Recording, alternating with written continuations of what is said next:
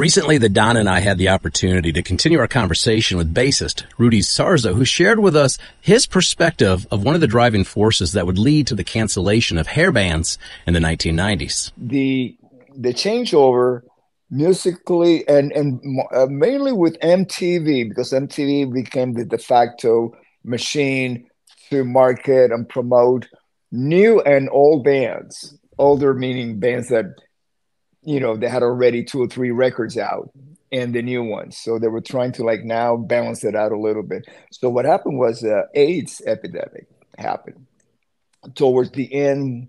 Yeah i mean it, it happened in, during the 80s but towards the end is where the epidemic started you know it got out of control basically.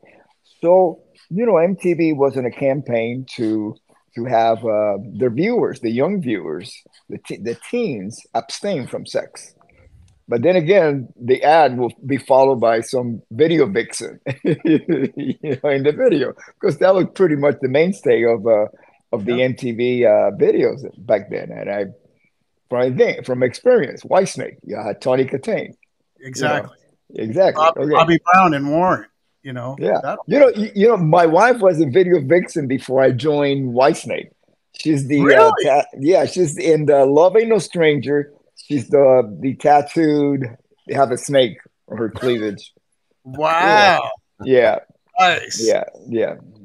So that's that was the major shift. What happened was uh, this uh, MTV started playing videos. If you had a electric guitar, you know, if you were a rock band, no women, no vixens, no video vixens in them. Okay, that's fine because they really would not have gone with the music anyways you know the imagery of the lyrics going along with the video. But if you were against the rap yeah go ahead. There's no guitars in there so go ahead. So that's when the youth of america across the board started to like say wait a minute.